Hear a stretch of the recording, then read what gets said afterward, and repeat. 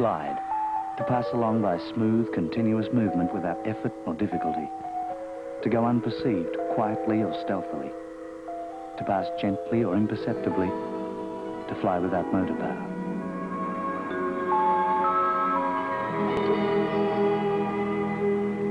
Waikerie, South Australia. To this hot and barren corner of the earth, 67 of the world's finest glider pilots have journeyed from 22 countries to decide who shall have the title, champion of the world. On the ground, everyone is tense and is chasing for seconds, for money or whatever. And then we have a wonderful chance to go up in the air and uh, get away from all this nonsense. And what we do is we import just this nonsense from the ground into the air. But uh, we can't help it. We are human.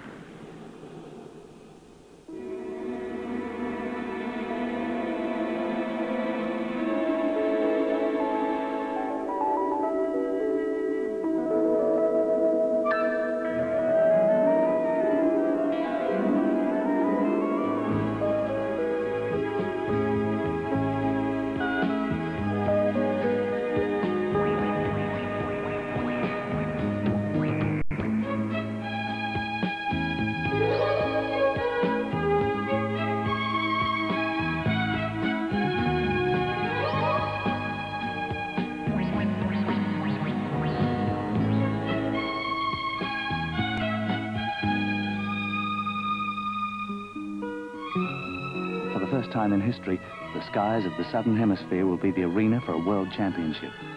With their sailplanes and their crews, with their plans and hopes, the pilots have travelled half the world to do battle. Students, teachers, chocolate makers, dentists and plastic surgeons. In style and temperament, there are no two alike. But in two things, there is one. They want to fly, and they want to do it better than anyone else in the world. The style I use is basically a very forceful driving style anyway. I go pretty fast, and I don't fool around. I fly the best if I forget about competitions and just fly in a leisurely and normal way. Thomas Beltz, college student from Miami, Florida. At 22 years of age, Beltz is the youngest competitor at Waikerie. To Beltz, competitive gliding is a special kind of gamble. Good luck, he doesn't need it. Bad luck, he doesn't want to know about it. If you're riding a bicycle and Joe beside you is riding a bicycle, you want to see if you can beat Joe down the next block. So you say, Joe, do you want to race? If Joe doesn't want to race, you say, well, that means I could beat you anyway, so there's no competition. Adele Orsi is the open class champion of Italy and the only female competitor at Waikerie. It's not very important to win. I just like gliding and gliding with friends. Frenchman Francois Ragot. In competition, I fly for fun. It's a fun to fly in competition. it's not necessary to win. Well, basically, the only reason I'm here is to win. As contest day one approaches, nerves become tense, leading to small errors in judgment. And so the questions mount. Am I ready? Who do I need to watch? Who's watching me? How hard should I push? How can I play it cool when I've just landed with my damn wheel up? There are two classes of sailplane competing at Waikerie. The standard class, which is designed to a specific racing formula, and the open class, which allows performance-boosting modifications. The rules are quite simple. Take off from point A, fly to points B and C, photograph them with the cockpit camera to prove that you've been there, and return to point A. Do all of this as quickly as possible. Each day a different task is set. For the fastest man, 1,000 points. For the others, a percentage of that 1,000, depending on their relative time. For those who don't complete the course, just some points for the distance they have travelled. It's a bit like a mixture of a car rally and a yacht race. The rules, quite simple. The strategy, more like a game of chess than a race. You can make as many starts as you want. Your timing is taken from the last one you make. You can even make more than one circuit of the course, provided you think you have the daylight hours necessary. Your best time is the one you register with the judges. The contest can last anywhere from 4 to 14 days, depending largely on the weather. The name of the game is consistency. One good day can't win it. One bad day can lose it.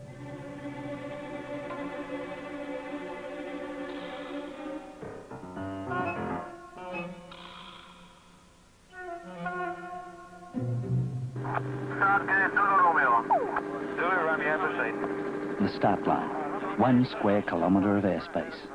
One very closely watched square kilometre. If you go through too high, too low or too wide, you'll be told to go back and start again. From the time you hear good start, your race is on. Good start. Golf Alpha, negative, high. One niner, good start. In planning rooms and radio rooms, in computer rooms and dark rooms, the watchdogs are at work. Seven one, good start. Romeo Bravo. Romeo Bravo, proceed.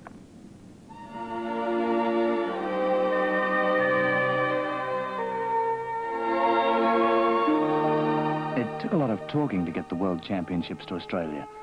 Talking that was mainly about the weather, because it's the rising currents of warm air that a pilot must search out. The rising air that allows birds to climb without a flap of their wings. The rising air called thermals. Statistically, the hot and dry conditions in South Australia should provide better thermals than most countries. Statistically, it should make for a great competition.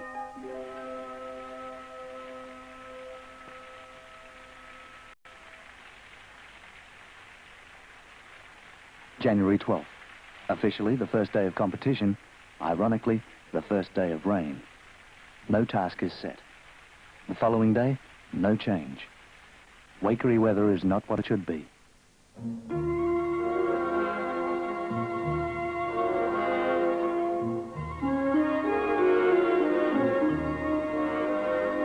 West German Hans Werner Grosse holds the world long distance gliding record. To Grosse, physical fitness is essential to competitive gliding. I do a lot of skiing and I do long distance uh, runs and I uh, have quite a good time in 100 meters. You know, I don't go out and run every day for riding. I wouldn't want to go out and run 10 miles an hour, or 2 miles, or 1 mile. Well, physical fitness is certainly important. Riding just plain is not a physical thing. Well, I think that physical fitness is very important in a competition like this. It'll last for about 14 days. You don't get points for going to bed early. People will get very tired. You know, you don't get points for staying sober or anything. You get points for when you start flying your race till you end. I do everything kind of by feel, by the way it looks. In other words, once I get within 15 miles, or once I get within eye view of the airport, I eyeball it the rest of the way. I do it by feel, by the way it looks. I eyeball it. If he does it visually, he's very clever. He accepts the fact that he's got a lot to learn, but he's also got that uh, cockiness of youth, which gives you that extra burst of energy and that extra enthusiasm. After four years of planning, the administrators are anxious to get their first World Championship underway.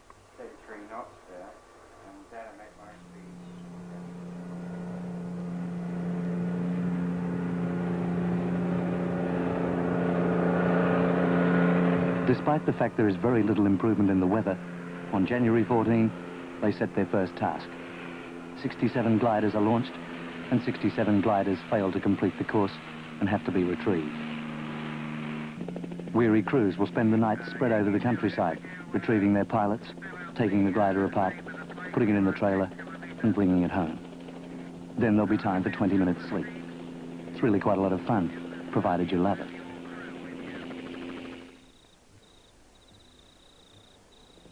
By morning, the usually orderly tie-down area looks more like a battlefield. When the scores are posted, contest day one belongs to the French. Pinot and Mercier are first and second in the standard class. Cartry and Ragot are first and second in the open class. A disastrous first day for Waikerie is a great day for France. George Moffat from the USA. World champion in 1970, the 46-year-old New Jersey schoolteacher is highly favored to win again. When thermals are very strong, the heavier your aircraft, the faster you fly. To be able to adjust their weight to the varying weather conditions, sailplanes carry water ballast. To conform to aircraft regulations, the designers must register the maximum weight of ballast for which their aircraft has been safety tested. The open class favorite makes no secret of the fact that he is increasing his plane's capacity to carry extra ballast. In so doing, he opens more than his wings. In the past, as long as I've been flying, there's always been a rule saying you had to fly within the uh, certified gross weight of the aircraft. but in actual practice, no one's ever paid the slightest attention. Any glider flying here should be operating within the airworthiness requirements of a contracting country. Now here, some team manager took it upon himself to call up the government and say that this was uh, being done and it was dreadful and the government ought to intervene.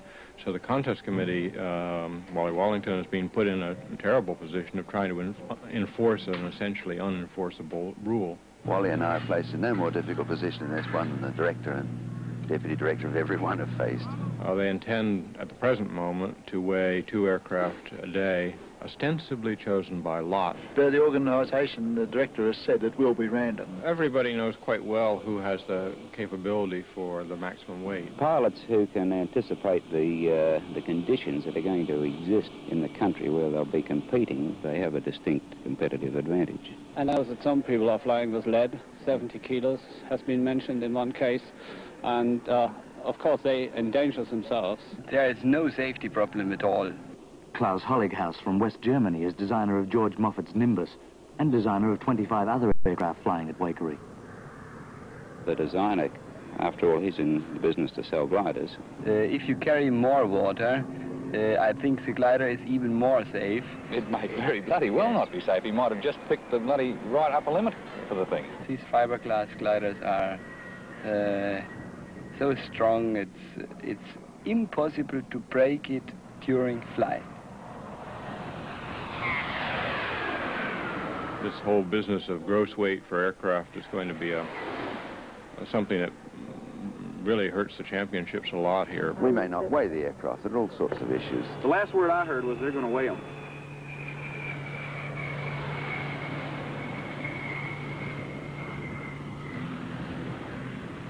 Contest day three, the first booming day. Lift conditions are strong and you need all the weight you can get. With that weight, pilots will be able to push their aircraft faster between the thermals, thus picking up valuable seconds.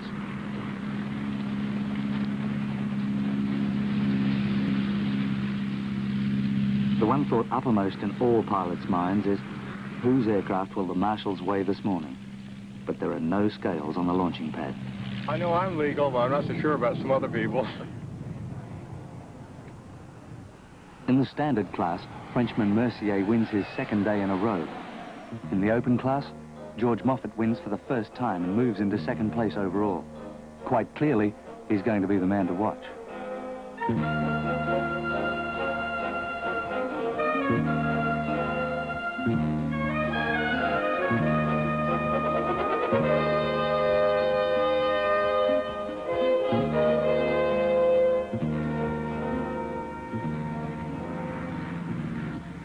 Day five. Moffat wins again and takes the lead in the open class from Grosse and Ragot. In the standard class, Frenchman Mercier still leads from New Zealander Gordon and Englishman Fitchett. Michael Kuhn of Mexico is the only pilot who has not yet made it back. For each man in the air, a crew of three on the ground. A very hard-working crew, whose job it is to keep their pilot where they would dearly love to be themselves in the air and competing. I'd give a lot for a damn female 1110 connector right now. Why do we However, the degree to which a ground crew contributes to the result is a matter of opinion. And opinions, like the pilots who have them, are not always alike. The fundamental aspect of the sport is that it is an individual sport. No, it's not. It's a, it's a team effort. Soaring competition is really a one-man thing. It is a team effort, definitely. I, I would I would say it's basically a one-man game. It is a team effort. No, it's almost totally individual. No, that's not right. That's, I don't agree with that. Um, without your crew, you haven't got a pilot. You, you, haven't got an aircraft. It's a real team effort. Uh, I rely on my uh, crews very much. In the standard class, Ingo Renner, the 33-year-old German-born Australian, is the hope of the local crowd. How do you feel? All right. Thank you. Good. Feeling confident? Oh, not really, but trying my best. I remember my first solo flight. The instructor told me I could go solo, and I was really happy that it was the last flight in the day because the sun was set already. And I, they launched me up to something like 400 meters, and I was all on my own. I saw the uh, lights of the villages go on, and The you know, cars on the highways, they had all the headlights on, and the stars started to, to shine, the moon was shining. It was beautiful. I, I never forget that flight when I was all my, on my own for the first time. But many competitors fear the Australians' knowledge of local conditions, the lack of cloud, the lack of landmarks, the lack of almost anything. We normally have cumulus to mark the thermals. If it's blue, like it is here most days, we don't have very good conditions at all. In Italy, I always fly in mountains, and it's a completely different way of flying from a flat country. Well, I consider any familiarity with an area must be an advantage, and all the pilots flying in our team are from reasonably familiar to very familiar with the area. We get these sort of conditions sometimes in the UK, but uh, it is more difficult when there are no clouds to show you where the thermals are. You just have to press on and hope you hit a thermal. The mere fact of not having to pick up a map and look at it must be some advantage. Uh, the statistics of the previous World Championships show that uh, local knowledge doesn't uh, bear uh, much weight.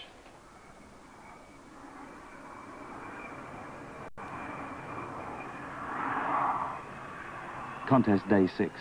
The open class flies the longest task ever set for international competition, a triangle of 707 kilometers. Only 10 of the 28 open class pilots make it home. And the first man back, Francois Ragot. Uh, usually in my club I take off very early and uh, I land only at the end of the day. So I used to fly a very long time. But right behind him in the open class, the consistent George Moffat. Second for the day, but still leader overall. In the standard class, Ingo Renner finishes a mere one-tenth of one kilometre per hour behind Tunis of Holland and moves up to fourth place. You have to be patient and sit back and wait until your opponent makes a mistake, like in chess, and take advantage of it. One man in particular is waiting for just that mistake, from Renner. He is Helmut Reichmann, 32-year-old university lecturer from West Germany. Four years ago, with an unprecedented low of only 300 gliding hours behind him, he won the World Standard Class Championship in Texas. Along with Australian Renner, he shares the favoritism for the standard class again.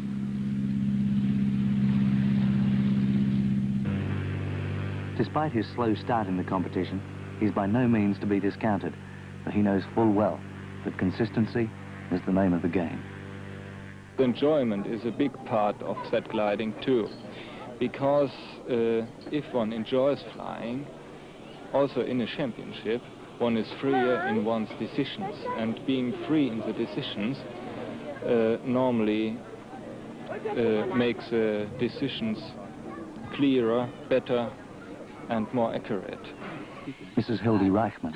In the morning I'm a teacher and in the uh, afternoon I'm a mother because I've got two children and in the evening I'm wife and all weekends I'm a group man member.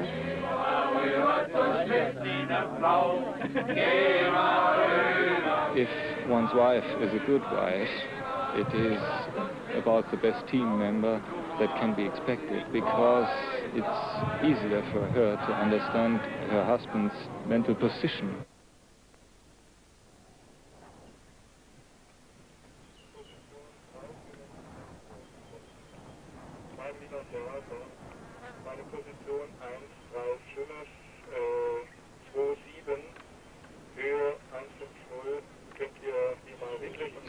Helmut, hier ist er. 180 Grad, 25 Knoten. Lima Sierra von Wagen.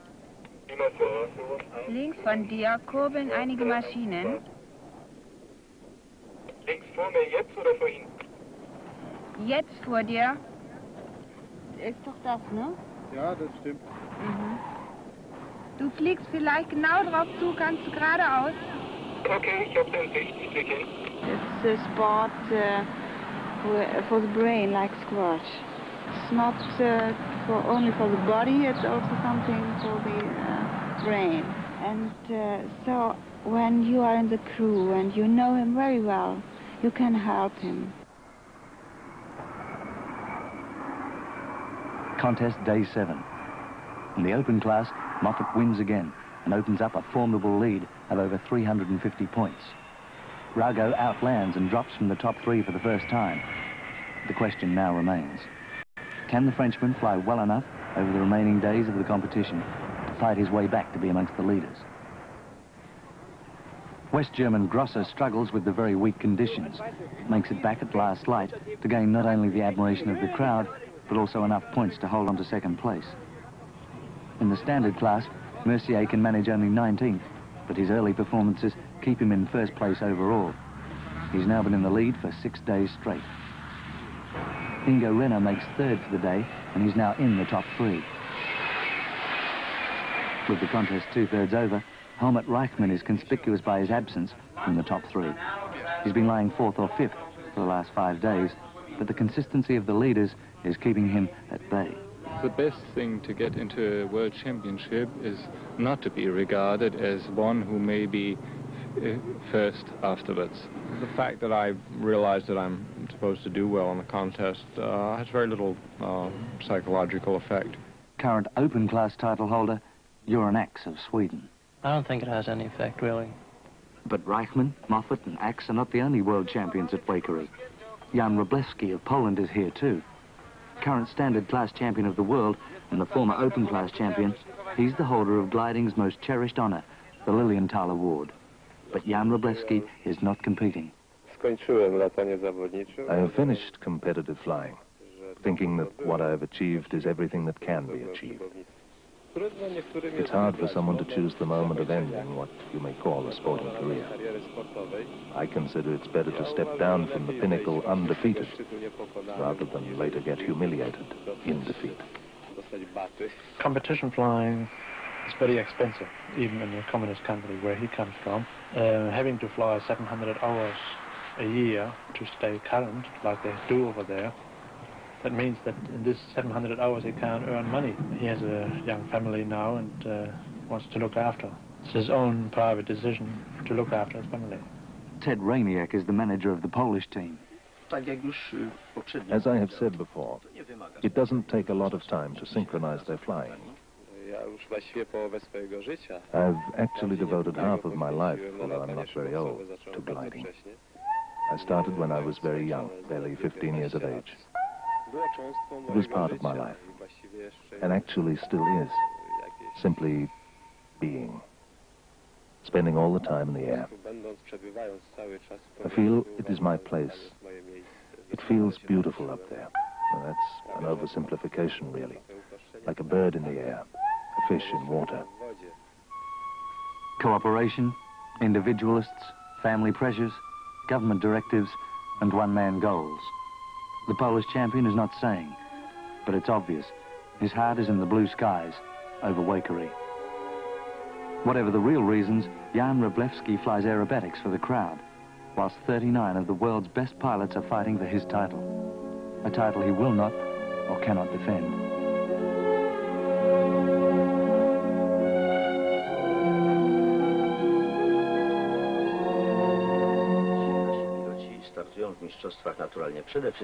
Our pilots start in championships primarily for their pleasure as pilots. But I'm deeply convinced that one of the greater pleasures is the possibility of representing the country. But separating the individual from the country is a question that goes beyond Jan Wroblewski. There are no prizes for countries, only for the individual. Nationalism has as much importance as the individual or his manager chooses to give it. You know, I'm happy to represent the United States, and that's, you know, whatever I can do, I can do, but it's also what I can do for myself. Well, I'm representing the UK, yes. I'm, I'm flying for the UK. I'd be flying for Jan just myself. I would be very glad only to compete, and winning would have no importance for me. But being in the Italian team, I should try to do my best. The West German glider pilots think to me being here, they are sure that I will uh, fight for, for my country. Oh, I don't think at all. I, I fly. Well, uh, I'm just flying to beat all the others, including the other Germans. And uh, all this uh, nationalism and all this national feeling uh, that we had uh, in an excessive way 30 years, uh, years ago uh, are over for us once and forever. 9,000 miles from the workaday world of a New Jersey private school classroom, a pretty young American finds a moment to relax. Someone had said before, oh, George Moffat and Suzanne Bundy should meet because there'll be fireworks one way or the other, and there were. Suzanne Moffat is both wife and crew member to the American open class favorite. It just, uh, it's like I've known him always, and I always want to be with him, in however many lives I may have. It just works. I can't explain it. This doesn't always work. Doug Gaines, a competitive pilot in his own right, is also on the crew. Of course, of course, in her case it does because they're a very close-knit couple. They have no children, it's just the two of them. Uh, and uh, they very much live for each other.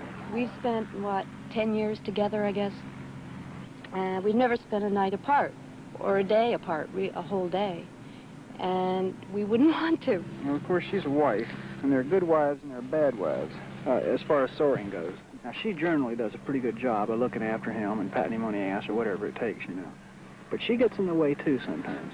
You know, my wife and Suzanne are quite different. I still notice they do the same things. They talk about things that are unnecessary to talk about. George has never in a single moment ever bored me or irritated me, and he claims the same thing. So, and I think that it's true. Uh, how to say it? Okay, a bunch of fellas, get, a bunch of men get together. You've got a nasty job to do. You kind of pitch in, and maybe everybody's in a semi-shitty mood, you know. But you go ahead and do the job, and maybe you kid each other a little bit. But there are certain circumstances when if there are two or three women around, for instance, to fuss over you, it wasn't the time when you wanted them around. You know, like the extra fussing around actually slowed you down. I've always been more of a boy than a girl anyway, so it doesn't matter. You know, they accept me as one of the boys. He wouldn't go without her. The only thing practical I do is that if I didn't come, he wouldn't come. So if I weren't here, he wouldn't be here. I suppose that's all I do, really. I think if you can have a wife who is really interested as crew, they're absolutely the best crew there is.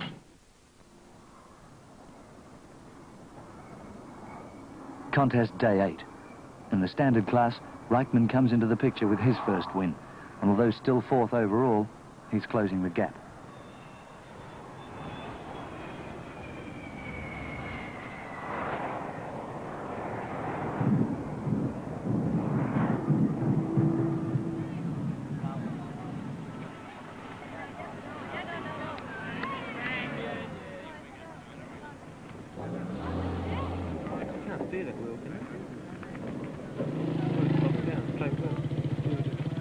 Day belongs to Renner.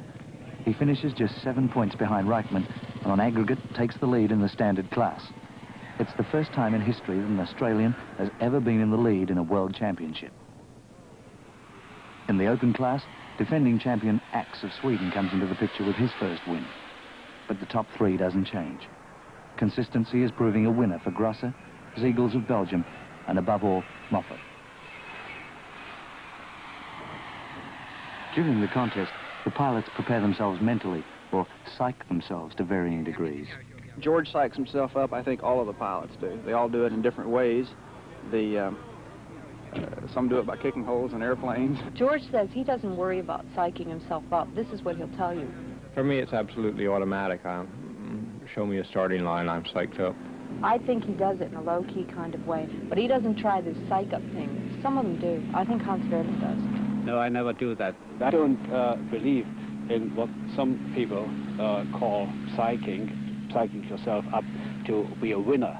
I, I think that's really rubbish. Yes, you've got to get yourself into a, a, an equable state of mind, certainly. Oh, the problem is not to, to prepare myself, but the problem is to prepare the, the gliders. My problem is just to calm down.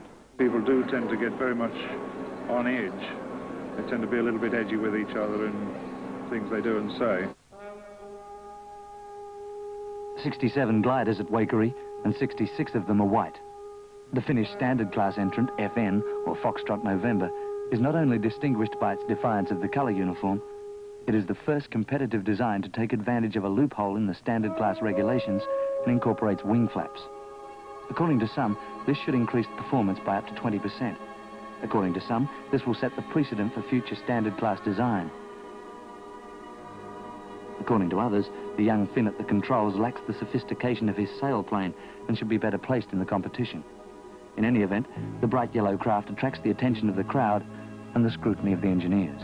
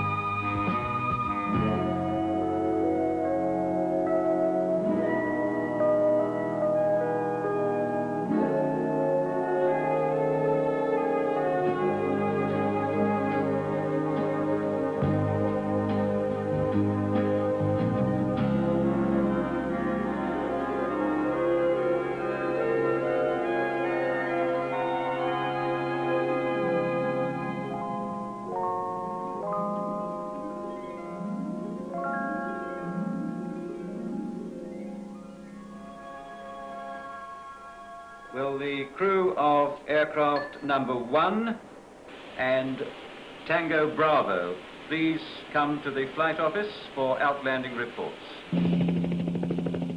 Tango Bravo. Tom Beltz finds out what it's like to view a wheat field from ground level.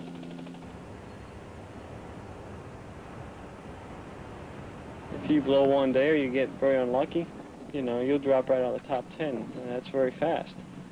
And if you have another bad day, pressing trying to get back in the top 10, you know, it's the way the game's played. You know yourself that you're as good as, say, most of the people in the top 10, but if you're not there, you know, what the hell? So, like, right now I'm probably 18th. Land out. Two of the most unpopular words to a competitive pilot. When there's no air rising, no matter where you look, there's only one way to go, and that's down. Probably in a wheat field. And if you're good at it, by a farmhouse.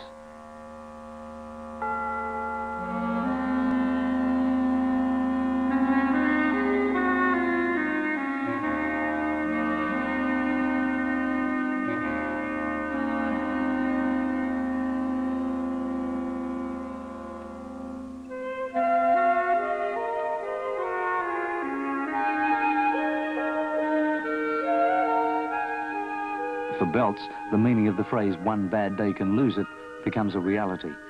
It's the luck of the game. And as his sailplane is towed back to the airfield, the scoreboard tells its own story.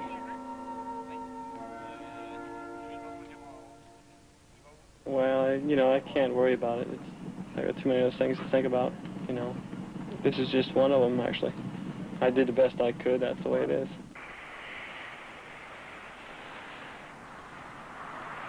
Contest day nine. In the open class, Göran Ax wins his second day in a row, and he's now only two points from the top three. But the consistency of Moffat continues. He finishes third for the day and increases his lead overall to almost 450 points. It seems he only has to stay in the air to stay in front.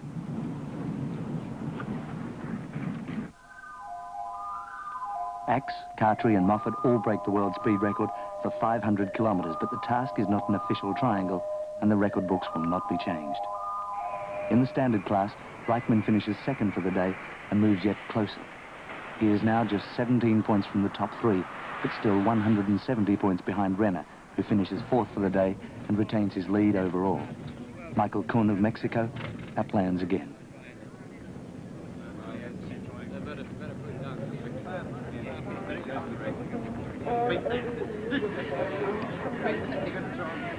On Thursday afternoon, on Bordeaux Friday, transcript will be available to advise on ticketing and reservation problems. On the ground, amidst the dust and the heat, the crews toil on, pushing harder and harder. I'm melting. Contest day 10.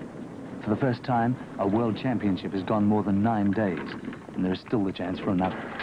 Waikerie weather has lived up to expectations, and the effects on the pilots are telling.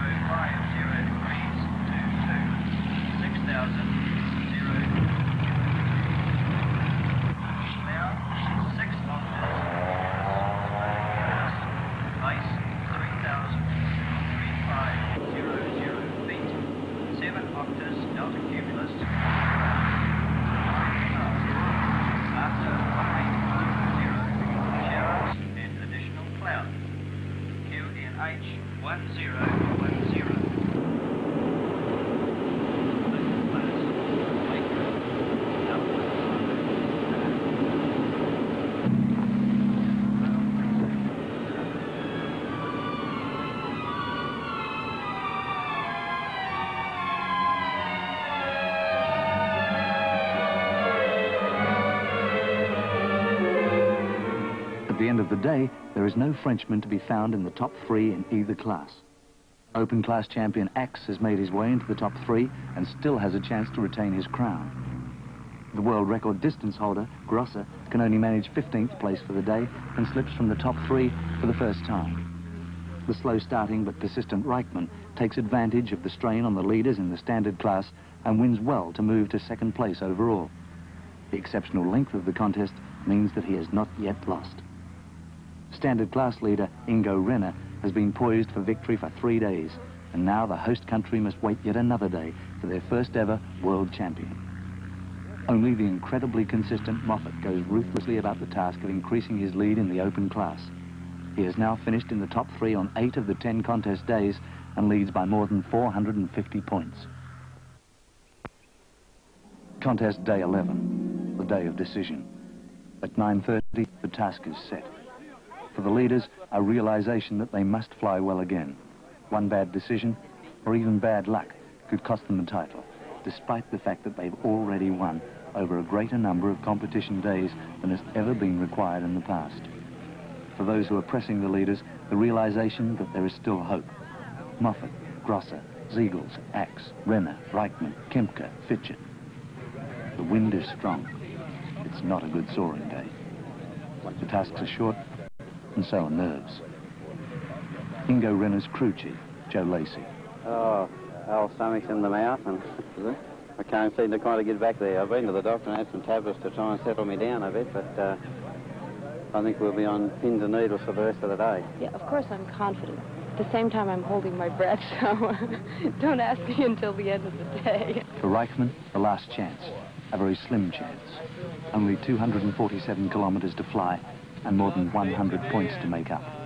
For the young German, there's nothing to lose and everything to gain.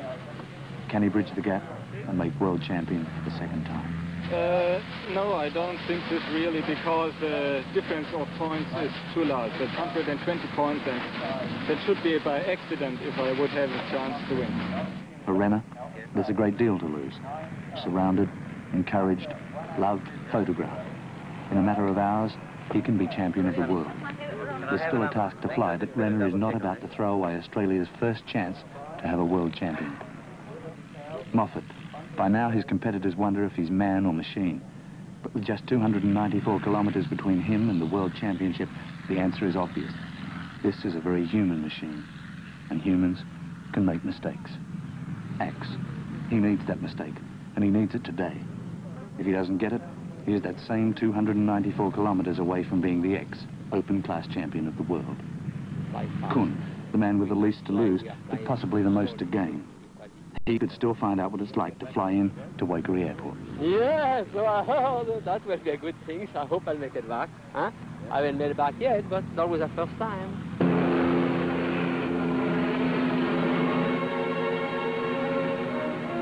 For the 11th day, the world's best pilots are towed into the sky, and it seems there is nothing left now but to wait. But that assumption is the first wrong thing about contest day 11. Within minutes of being launched, Zulu Romeo is on approach to touchdown in the relight area. Ingo Renner is coming down. His dive brakes have developed a malfunction.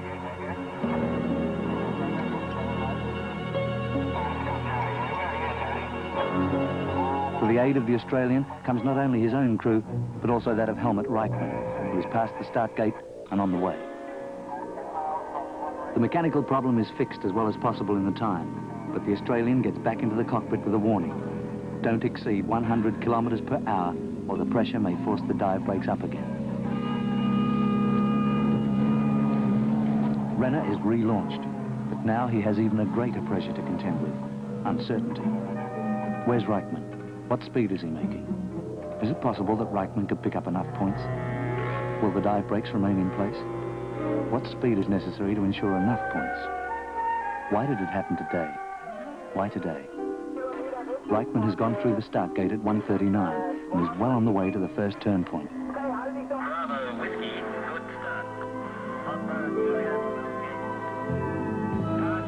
Renner starts at 154, which means he must land within 15 minutes of Reichmann to equal his time. Every minute beyond that means a gain in points to the West German, and he needs 109. As Renner moves out chasing the main group, those on the ground sense the possibility of a close finish between he and Reichmann. It was pretty important to get the, the job done as quickly as possible, and we were just fortunate that the German uh, team had, had one member that knows the Cirrus inside out, works for, for Klaus Holighaus. At 10 past 4, Reichmann's prototype LS2 lands, averaging 106.2 kilometers per hour. It's good, but is it good enough? How far behind is Renner? There's still time for a second run if he wants, and there's nothing to lose.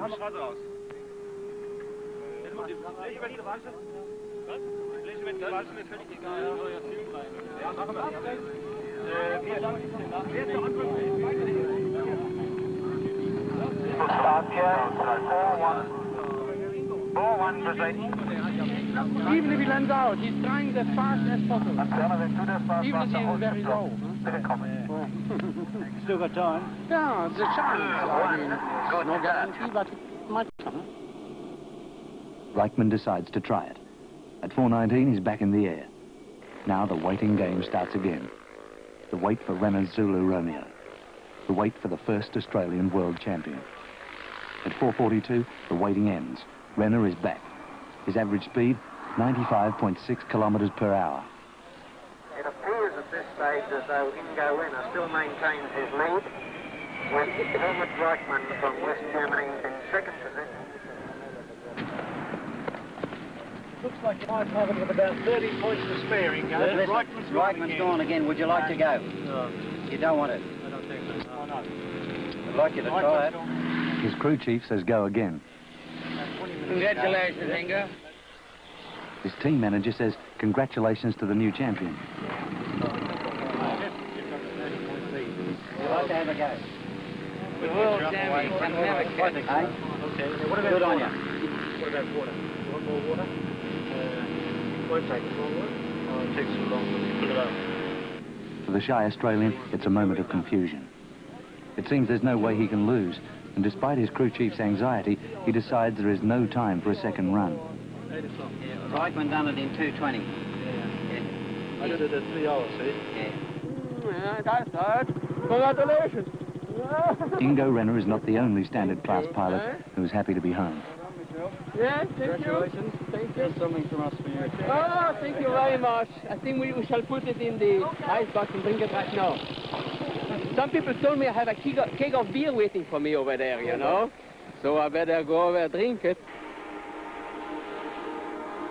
At the other end of the field, an open class Nimbus makes a regulation approach. A regulation touchdown, and another day's work is ended. While the standard class championship hangs in the balance, George Moffat calmly rolls to a stop and his second World Open Class Championship.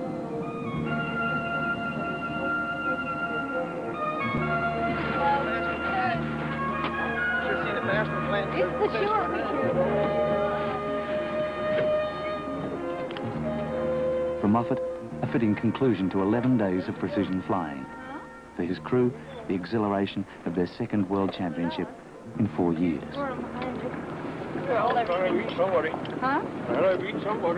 He's glad he beat somebody. Reichmann, in the meantime, is battling against deteriorating weather conditions. The only thing he's sure of is that he must try to make a better time than his first run. But the further he goes, the more obvious it becomes that his second attempt will be slower. Fifteen minutes before the West German lands, the unofficial result is announced to the spectators. It's not communicated to Reichmann in flight. As he lands, he only knows that he has failed to beat his previous time. What he does not know is that in the complex computerized scoring system, His first time, relative to the fastest recorded for the day, has made him world champion by 29 points. Now he knows. Overlooked in the earlier excitement was the fact that Kemker of Poland recorded the fastest time for the day. The relative times of Reichmann and Renner gave Reichmann his second world championship by the smallest of margins. If you can imagine the feeling that you get when you stand on the top of a high cliff and you see birds soaring up and down, you sort of feel, wouldn't it be nice if I could just leap off this cliff and drift gently down? Uh, it's the feeling of wanting to get airborne. I've felt like that since I was about 12 years old. If you just want to fly the damn thing around the sky, that's one thing. But if you want to race it, a glider is quite an interesting item. We can more or less see ourselves as uh, explorers who uh, try to rub away the white spots on the map. It's the competitive spirit and it's the friendly get-together spirit when one's landed and in the bar afterwards. Gliding is like being in love because when you leave the ground, it has that same kind of breathless feeling of, you know, joy, freedom kind of thing. It's a certain feeling of freeness. Uh, especially if you fly over a very crowded street with a lot of cars. He's not enjoying it. There's no way he's enjoying it because a competition pilot is not even thinking about the beauty of the thing anymore. He's slamming that airplane around. He's forcing it to do what he wants it to do. Gliding is a question of finding your way around an invisible geography. The sky, the land, the wind, uh, everything is attempting to give you information all the time. And the most important single thing is to open yourself up to, to what it's trying to tell you. To pass along by smooth and continuous movement, without effort or difficulty. To go unperceived, quietly or stealthily. To pass gently. To fly without motor power. To glide.